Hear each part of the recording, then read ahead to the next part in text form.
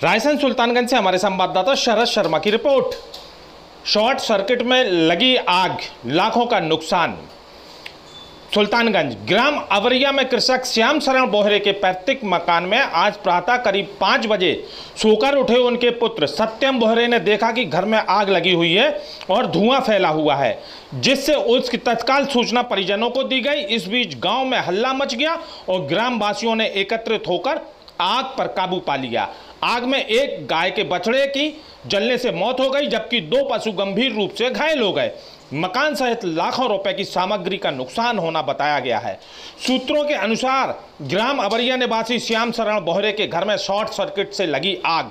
अंदर रखी सिंचाई की पाँच हार्स पावर की चार मोटरें, तीन हार्स पावर की दो मोटरें, तीन इंची, सौ फीट पाइप पंप, बिजली, तार, horse power, diesel, engine 400 foot सटक केबल, लाखों रुपए का सामान, लकड़ी, घर का छप्पर सहित कबेलू एवं खाने में रखा, दस कुंटल गेहूँ और एक गाय की बछिया की आग लगने से जलकर मौत हो गई, जबकि एक गाय गंभीर रूप से घायल है, एक भैंस अध जली गंभीर रूप से घायल है।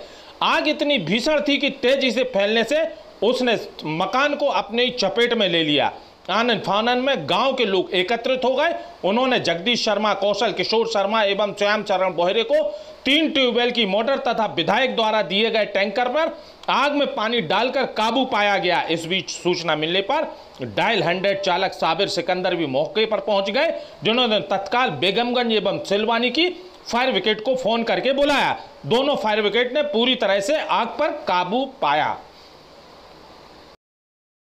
राहतगढ़ से हमारे संवाददाता सलमान कुरैशी की रिपोर्ट। नेमावर की बेटियों को इंसाफ दो। आज सागर ज़िले के राहतगढ़ में युवा कांग्रेस राहतगढ़ के नेतृत्व में नेमावर जगन हत्याकांड के विरोध में कैंडल मार्च निकाला। राहतगढ़ बस स्टैंड पर स्थित डॉक्टर अंबेडकर की प्रतिमा के समक्ष कैंडल लगाकर मृत लोगों को पीड़ित परिवार को श्रद्धांजलि दी।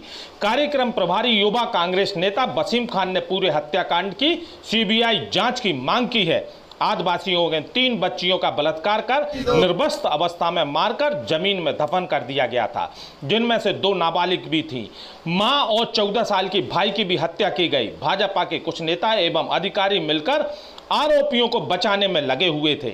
इसलिए दो महीने से कोई कार्रवाई नहीं हुई और जाँच को में गुमराह किया गया है। ऐसे अधिकारियों को भी सस्पेंड करने की मांग रखी गई। इस मौके पर सभी वरिष्ठ नेता, पदाधिकारी एवं कार्यकर्ता मौजूद रहे। सागर से राहतगढ़ से हमारे संवाददाता सलमान कुरैसी की रिपोर्ट। विदिशा से हमारे संवाददाता राम बाबू की रिपोर्ट। बासौदा थाना के ग्राम सेमरी से परिवार गृहस्थी का सामान लेकर पहुँचे कलेक्ट्रेट। पाँच जून को पुलिस परिवार की मुखिया गुलाब सिंह की हुई थी हत्या। आरोपी परिवार पीड़ित परिवार को दे रहे थे धमकी। डर के चलते पुलिस की सुनवाई न होने के कारण कलेक्ट्रेट पहुँचे। आज दोपहर एक परिवार, जिसमें महिला, पुरुष, बच्चे भी शामिल हैं। अपने साथ गृहस्थी का सामान, खाना बनाने ओढ़ने बिछाने, आटा, दाल, सब्ज़ी लेकर कलेक्ट्रेट पहुँच गए, जहाँ उन्होंने अपनी गृहस्थी का सामान जमाया और पीड़ित परिवार ने बताया कि वह गंज बासौदा थाना क्षेत्र के ग्राम चेमरी के निवासी हैं। परिवार के मुखिया हीराबाई ने बताया कि 5 जून को उनके पति गुलाब सिंह की, तेज सिंह और उनके अन्य साथियों ने गंभीर रूप से मारपीट कर हत्या कर दी गई थी।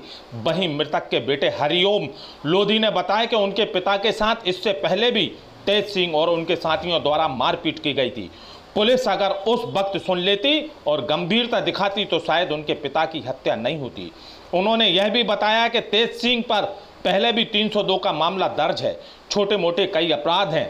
अभी वर्तमान में फरार चल रहा है। उन्होंने गंज बासौदा कोतवाली पुलिस पर भी गंभीर आरोप लगाए हैं। हरिओम ने कहा है, जब उन्हें घर में रहने नहीं दिया जा रहा है, जान को खतरा बना हुआ है। ऐसे में अपनी जान बचाने के लिए कलेक्ट्रेट आकर सुरक्षित रह सकते हैं। विदिशा से हमारे संवाददाता राम बाबू की रिपोर्ट।